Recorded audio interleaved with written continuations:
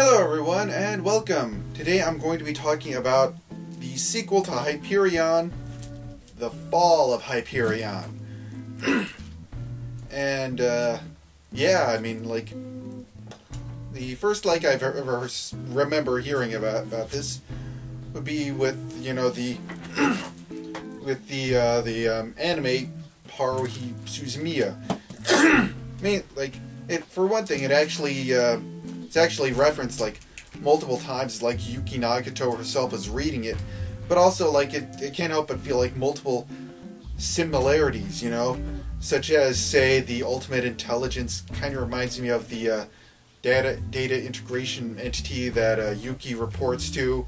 You know there's like all sorts of stuff involving time travel and going back and forth through the through history. You know kind of like in Haruhi that were you know, Kyon is, you know, traveling backwards through time on occasion, and and even like uh, the whole uh, multiple pilgrims going off and seeing the Shrike, who's the god, you know, sort of like uh, you know, or it kind of reminds me of like all the different colorful characters in Haruhi remind you know, observing Haruhi or keeping her happy or whatever. You know, gra- granted these are just you know little similarities or whatever that I've personally sort of felt like I'm noticing. But yeah, and heck, even the uh, the book Hyperion itself is actually comes up as a uh, as a sort of plot point wherein the um, or in the disappearance of Haruhi Suzumiya. Kyon, you know, comes across the book and is like, "Hey, I remember that." Yuki reads that, and you know, he picks that out and finds little bookmark with the whatever thing printed on it, and you know that's sort of the key to you know gets him on his track on getting back to his own home dimension or whatever. but yeah, yeah but anyway, um, although I, I, I don't think the Har- Haruhi would be the Shrike. She she would be I guess the human spirit god, perhaps.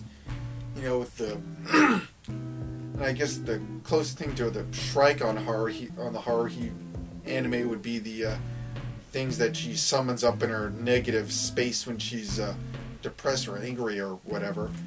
uh, but anyway, um, back to the uh, this thing here.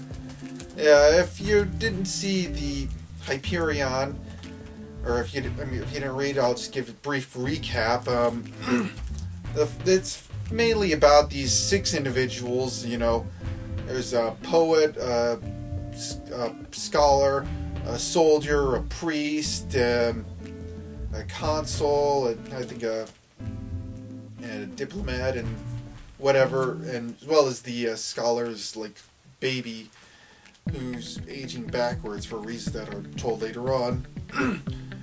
are uh, you know going to the planet Hyperion to uh, visit the Shrike, you know, and during this they will try and and um, for like e- each one is going there for their own reasons, which are told in the six various stories, which range from pretty funny to downright heartbreakingly tragic and sad and depressing, and. Um,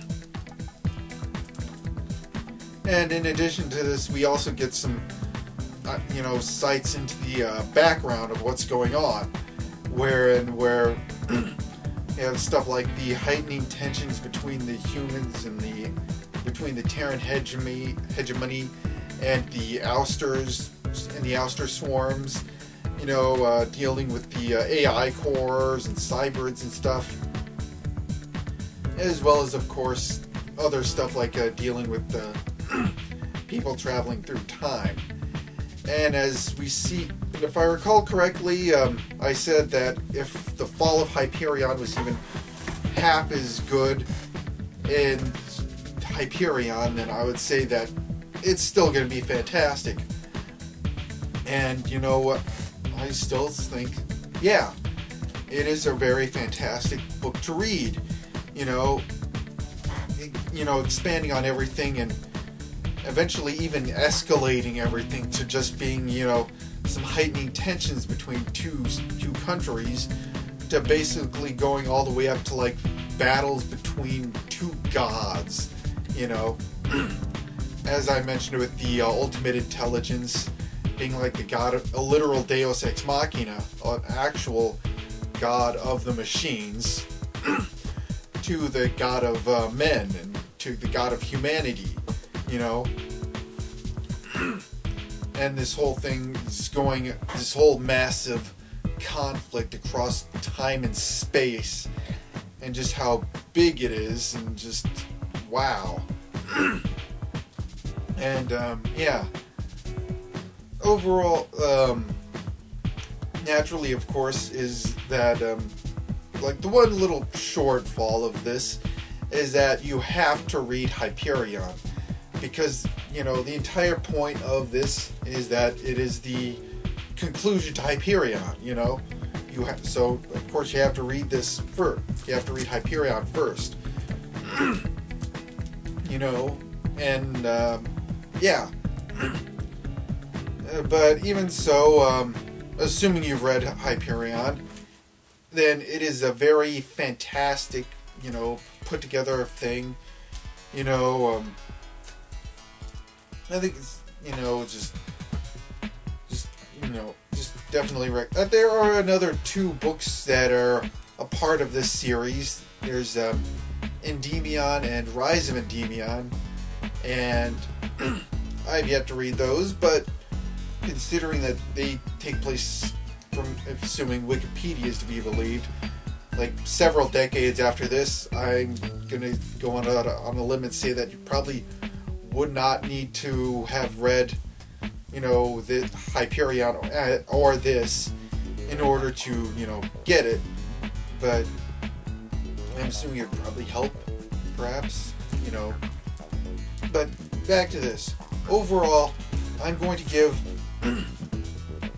you know, I'm just going to talk about Hyperion and Fall of Hyperion together and give them a my personal comfort level recommendation rating of a 5 out of 5.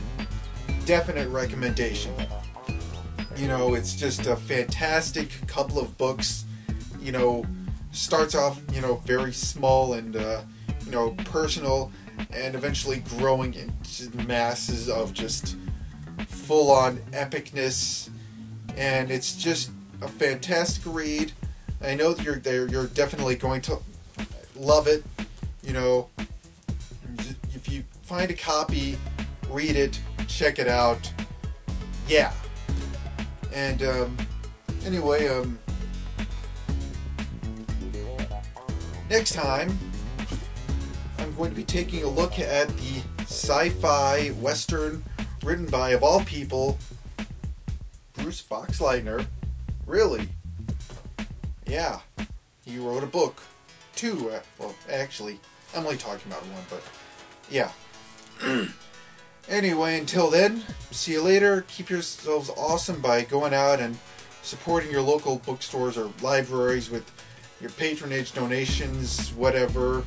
And if you have any suggestions for that you think I would enjoy or for other viewers would enjoy, please leave so in the comment section below. And have a nice day.